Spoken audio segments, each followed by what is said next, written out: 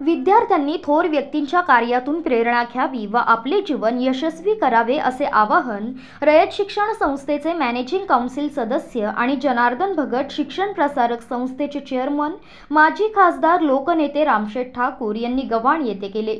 रयत शिक्षण संस्थेच्या श्री छत्रपती शिवाजी विद्यालय आणि जनार्दन आत्माराम भगत ज्युनियर कॉलेज तसेच जनार्दन भगत शिक्षण प्रसारक मंडळाच्या मोरू नारायण म्हात्रे विद्यालय आणि तुकाराम नारायण खरत ज्युनियर कॉलेजच्या विद्यार्थ्यांना माजी खासदार लोकनेते रामशेठ ठाकूर यांच्या देणगीतून आठ लाख सत्तर हजार किमतीच्या शालेय शूज व सॉक्सेसचे वितरण विद्यालयाच्या सभागृहामध्ये करण्यात आले.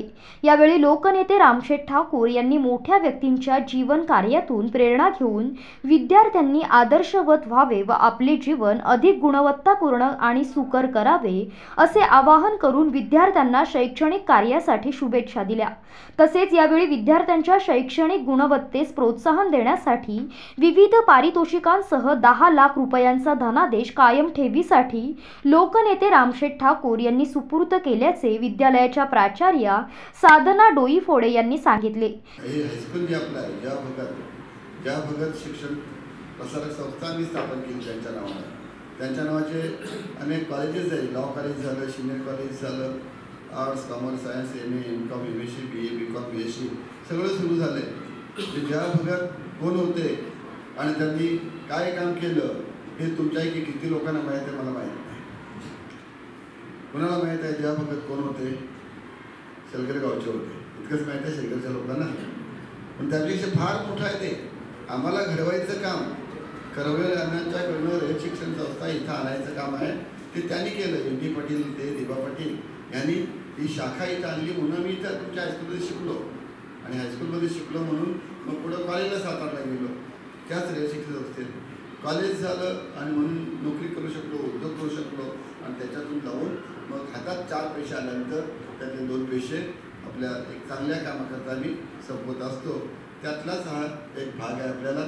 त्याच्यातून मॅडमनी सांगितल्याप्रमाणे मागच्या पंधरा ऑगस्टला सव्वीस जानेवारीला आमच्या जनातन पंधरा ऑगस्टच्या वेळेला की नाही मुलांच्या सगळ्या बाहेर ग्रुप नाहीत. आपण एक गुट आणले सर्वांचे एकदा कवायत वगैरे करतोय आपण तिथं. तर त्यावेळेला उभ्या असताना आणखीन चांगलं दिसेल. त्याच्यातून आपण हा थोडासा बघतोय.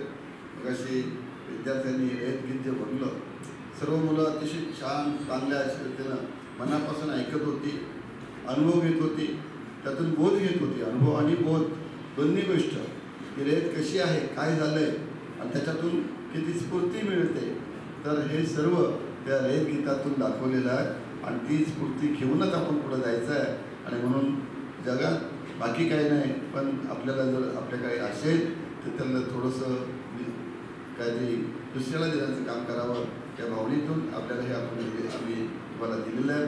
त्याचा व्यवस्थित वापर करावा. पी टी ज्यावेळा असेल किंवा ज्यावेळेला आपला गरज असेल त्यावेळेला कधी शाळेच्या नियमाप्रमाणे असेल त्यावेळेस वापरावेत पण आपलं आणखीन सर्व क्षेत्रात प्रगतीनं जावं जास्त कोणाची अडचण असली तर फीची ह्याची त्याची अशा प्रकारचं. तर ते अवश्य आपल्या हेडमास्टर सांगितलं.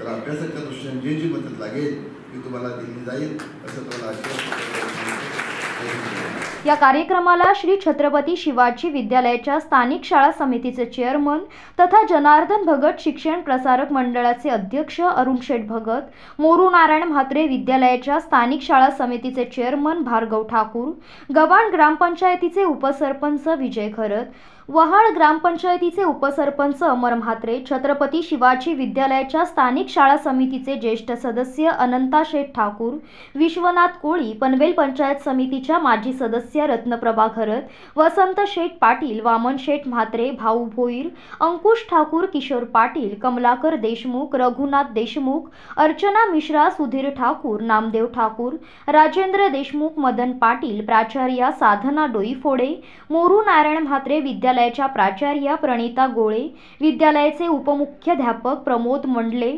पर्यवेक्षिका विशाखा मोहिते रयत शिक्षण संस्थेचे life member Ravindra Bhoir Pramod Koli life worker Jyotsna Thakur junior कॉलेजचे विभाग प्रमुख प्राध्यापक बाबूलाल पाटोळे यांच्यासह शिक्षक आणि विद्यार्थी मोठ्या संख्येने उपस्थित होते.